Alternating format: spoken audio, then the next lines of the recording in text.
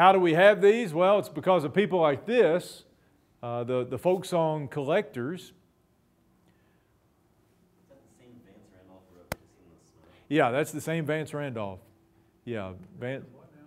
Uh, he, he asked if that's the same Vance Randolph who wrote the book Pissing in the Snow.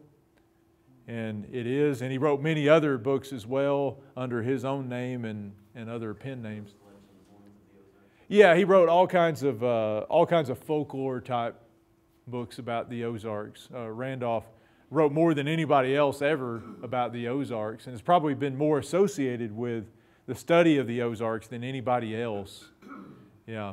But he, uh, at one time, he was an avid folk song collector and uh, worked.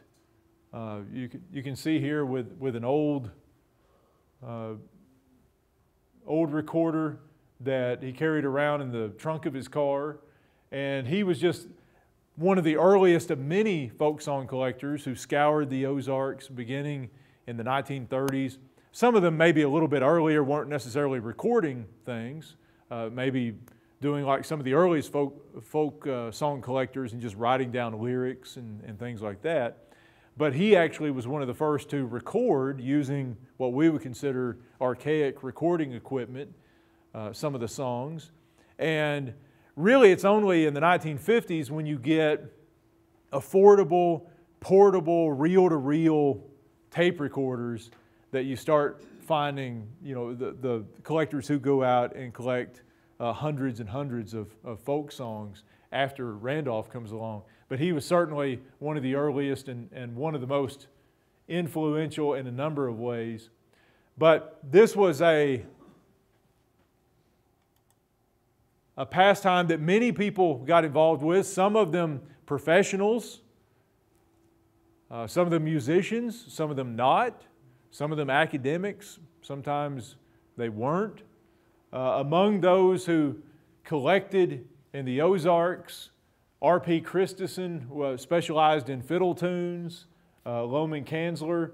But these three here are the, the ones who left large collections that two of them have already been digitized, and the other one is in the process of being digitized. Mary Celestia Parler was Vance Randolph's wife and she was a professor at the University of Arkansas who was not from the Ozarks. Vance Randolph wasn't from the Ozarks either.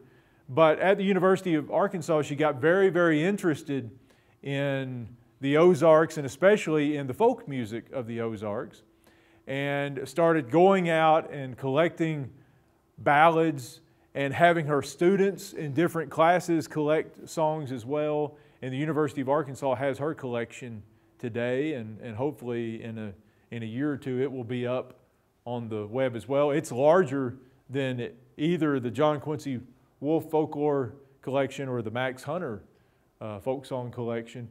Uh, John Quincy Wolf, we heard his voice a while ago, uh, started collecting in the early 50s and collected uh, really up until near his death in the early 1970s. He was an English professor in Memphis but was a native of uh, Batesville, Arkansas, which is in the extreme, on the extreme southeastern edge of the Ozarks.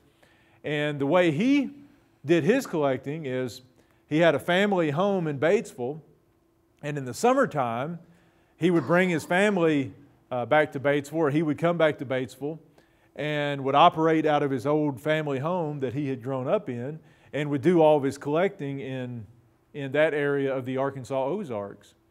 And he started out by putting advertisements in area newspapers saying that he was looking for people who knew old songs and would you please contact him and all that kind of stuff.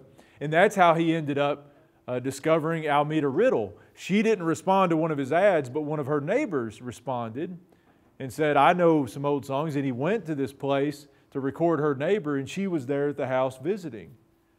And uh, you know, undoubtedly started singing at some point, and he was impressed and certainly impressed by the vast storehouse of songs that she knew, from child ballads to the drowning of the Heber Springs boy or whatever new stuff she was she was singing, and uh, they even eventually, what made Almeda Riddle significant and unusual amongst these collector, uh, amongst these singers that collectors went to was that she seemed to have an idea of the importance of, of her of what she had, the idea of the importance of her collection that she had. And she had actually written down dozens of songs, the lyrics to them, and she carried on a, a correspondence with John Quincy Wolf over the years, telling him, you know, what kinds of songs she had and, and, and what all. And, and he was the one who in turn helped